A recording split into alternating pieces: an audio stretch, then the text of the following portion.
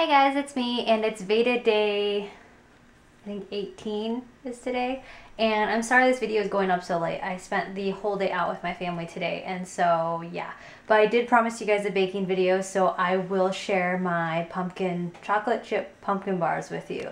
And some of you would say, okay, it's not fall yet. Why am I sharing this recipe? And it's because I've been craving it for like two weeks. So I'm gonna make it and I thought this would make a fun Veda video. Well, I don't know. I thought it would. Maybe not. But anyways, so I just want to do a disclaimer and say that um, this is the reason why I picked this recipe or why I make this recipe so much is because it is so easy to make. Not only is it easy to make, it's really, really yummy. It's um, really, really cheap to make. Like you can buy all the ingredients, I think, for under like $10. And most of the time you actually already have these ingredients in your house, which is why I make it so often is because I always have these ingredients in my house. I think maybe the only two things that I don't usually have are like pumpkin pie spice, which I do have just because I make so much pumpkin spice stuff, and then like the pumpkin puree, which is like $3 like for a huge can at Kroger or wherever you shop. So yeah, so let's get started. All right. So I don't always cook like this, but I do want it, like I did want to make this as easy and quick as possible in terms of showing you guys how to make it. So I have set all of my ingredients out and divided them into what I need beforehand for use. I have my stove, as you can see, preheated to 350. So this is what you'll need. You'll need two cups of all-purpose, uh, white all-purpose flour, one tablespoon of pumpkin pie spice, which I just have this pumpkin pie spice from World Market, but any pumpkin pie spice will do. I also use the store-bought one from Kroger as well. And then you will need one teaspoon of baking soda, which that's the kind of baking soda I use. Now be careful, baking soda and baking powder are two completely different things, but you can bake with both. So just pay attention to that because I've made that mistake when I was younger. Um, and then you're gonna need 3 fourths uh, teaspoon of salt and then two sticks of unsalted butter. I actually use whatever butter I have. I usually have salted organic butter in the house, so that's what I'm using today, and that's what I usually use, so it doesn't really matter in my opinion. But if you're picky, it does say unsalted butter. Um, it also says at room temperature, but I feel like it's easier to mix to melt it down, so I usually throw it in the microwave for about 30 seconds and then add it to my mixture. So I will be doing that as well. And then one and one fourth cup of sugar, which I just use whatever sugar is cheapest at the store. One large egg, two teaspoons of vanilla extract with this which this vanilla extract is actually something that I make. Um, you can buy these kits at different stores. It's just a glass bottle, and I just refill up this vanilla bean jar with uh, rum. So it's a really cheap way to have your own vanilla and it's you know it's your own organic way of making it as well. So yeah, it works really well for us. So again, that's just like four vanilla beans sticks with just literally rum. and you just let it sit for a few days. So that's vanilla. And then one cup of canned pumpkin puree, which again, we always, this is like, I usually have pumpkin puree in my house, but I'm just really weird because I love pumpkins, so that would be something that I don't usually have, or people usually don't have. Everything else people usually have in their kitchen, I think. So you'll need that. And then last but not least, one package of 12 ounce semi-sweet chocolate morsels, which, yeah, you can use anything. You can also use milk chocolate, but I don't know. I kind of like the semi-sweet because I think the milk chocolate sometimes is too sweet. Again, if you want to cut this um, recipe down to maybe a more healthier way. You can use, you know, different types of sugar. You can use less chocolate chips and less butter. But I'm pregnant and I like the unhealthy for right now, so yeah.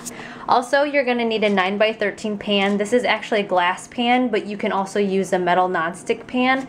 And then you need to cut, well you don't have to, but I like to cover mine with aluminum foil because it um, doesn't stick as much and also the cleanup is better. And I'm not sure if it affects the cooking or baking of it though, because I don't know, the recipe calls for it to be covered, but I've made it without and it's turned out okay as well. So I cover it though, so it's not that hard. Just use regular aluminum foil, make sure it covers the ends and everything. Okay guys, so I'm to go over this pretty quickly, but I hope I'm in the screen. So for this recipe, you're going to need a medium to large size bowl, a smaller size bowl, a spoon, a spatula, and then also a mixer of some sort. I am just using my very old and very I don't know. It's just a handheld mixer. It works really well and I've had it for years. So, but you, yeah, handheld mixers work just as well. If you don't have a handheld mixer, spoons work too. You just kind of have to work at it a little bit more. First, we're gonna mix all of our dry ingredients into our smaller size bowl. So we're gonna put our flour, our pumpkin pie spice, our baking soda, our salt, all together. And then we're just gonna mix it. Make sure to mix it really well because you don't want any like chunks of pumpkin spice or salt or anything or baking soda winding up in a bite. It's amazing how like that can actually sneak up on you and then you bite into something and it just tastes horrendous. now that we have all the dry ingredients put together, we're just gonna set that aside.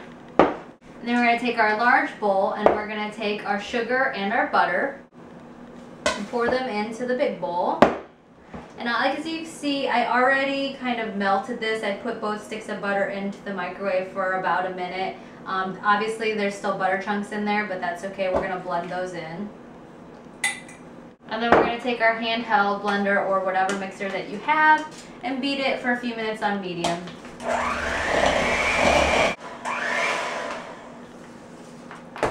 And then it will kind of look like this. I don't know if you can see it. It's just like a eggy, yolky looking colored creaminess. We're then going to beat in our one egg and our vanilla. We're going to combine those things until completely smooth and disappeared. Next we're going to beat in our pumpkin puree.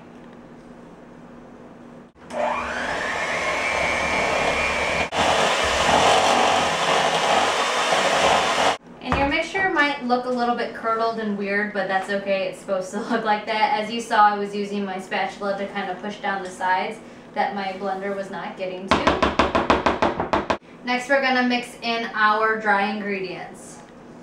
And then go ahead and mix that up on a low speed until just combined. Now at this point, the consistency that you should have is like an actual batter consistency. It should be really smooth and just like a batter if you were making a cake.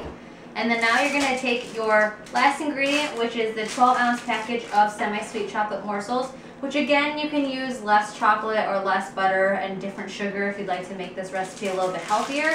But I'm pregnant, I don't really need to be watching that kind of thing right now. So we'll just pour that whole thing in here. And then you'll take your spoon and just fold it into the, uh, the batter mixture. Now remember ladies, if you're pregnant, try not to lick your fingers or any of the batter off the spoon because you are using raw egg. I have to stop myself all the time from doing that. So now you'll have all of your chocolate morsels mixed into your batter. And now we're just going to pour all of the batter mixture into our foiled pan. Again, it's a 9 by 13 pan. Actually, this is where the spatula comes in handy to get all the areas that you can't get with a spoon.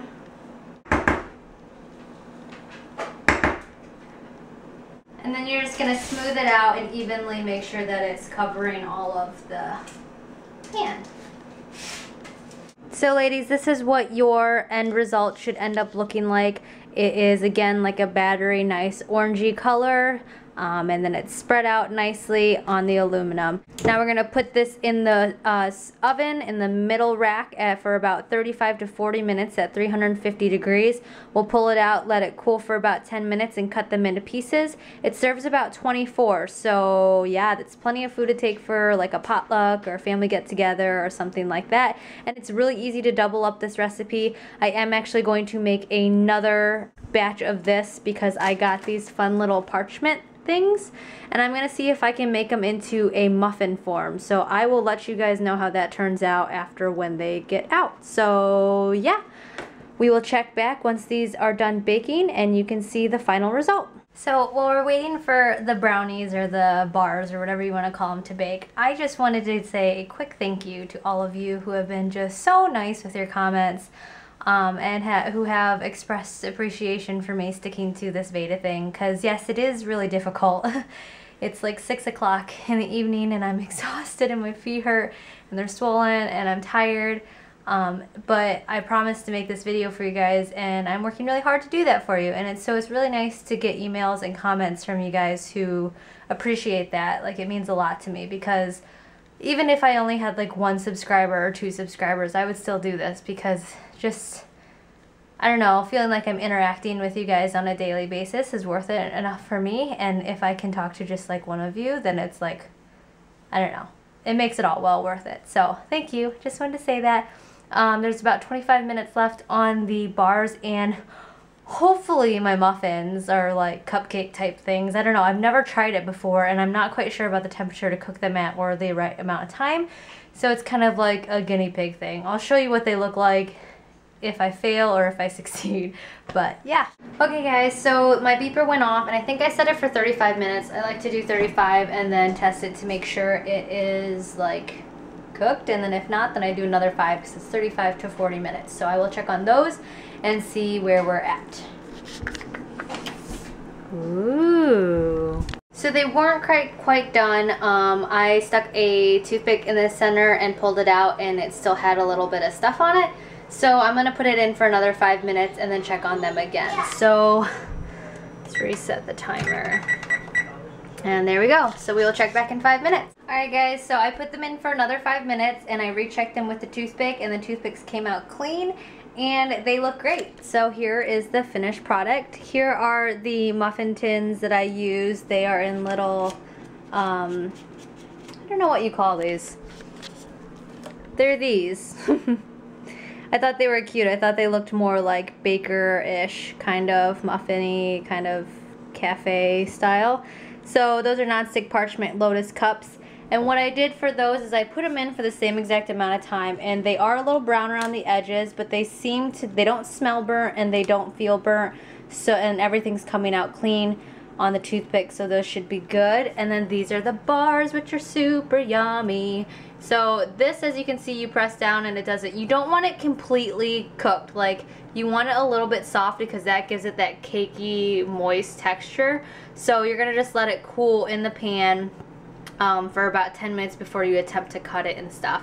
And these seriously taste best like right after they're done cooling off because the chocolate chips are still like melty and yummy and gooey and oh but they taste good like even days after. So yeah I'm very excited. The muffin things seem to work. That they feel good. They look good and they smell good. So there you have it. I don't know. I will actually